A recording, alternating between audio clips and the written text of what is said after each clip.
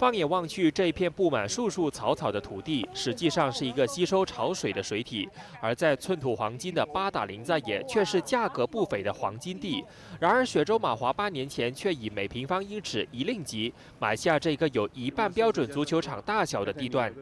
行动党林北区国会议员潘简伟和百乐镇州议员杨美莹召开记者会，指出，雪州马华今年头申请要求更改八达岭在野蓝图，将有关地段从水体用途转换成商业用途。火箭议员觉得不妥，于是援引自由法令解密文件，进而揭发马华低价买地。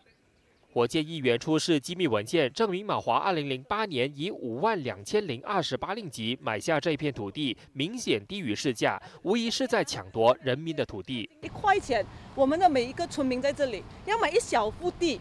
来自己做家，六万块钱。他们买一大幅，整一个一个可以做多少啊？可以做多少家？很多家，才五万二。所以我觉得这一个是真的是一个很不好的一个呃政治现象，然后真的是希望他们周伟芬给我们一个交代，给千百家村人民一个交代。这么多土地的问题他没有解决，他竟然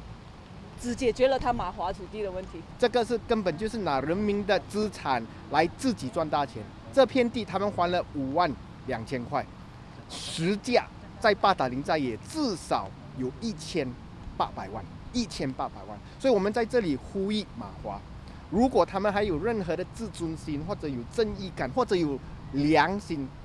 如果他们还有任何的梦想要回到雪州执政的话，他们应该把这片地还回给雪州政府。火箭促请马华归还有关地段，否则补上差价。针对这项指控，拿丁巴杜卡州美分向本台指出，雪州马华确实有根据正常手续在 SS 二十五申请一块土地，但并不是通过他处理和提出申请，因此并不知道详情。但他会在近期召开记者会交代缘由。八度空间李运祥、八达林再也报道。